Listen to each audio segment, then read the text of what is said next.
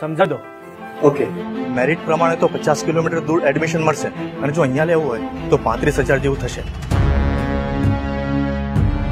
દૂર જઈશ પણ દૂર કરીને જઈશ ભ્રષ્ટાચારની ખોલો પોલ એસીબી ને કરો call one zero six four ACB ભ્રષ્ટાચારને ખતમ કરો દેશને આબાદ કરો લાંચ નહીં આપો ફરિયાદ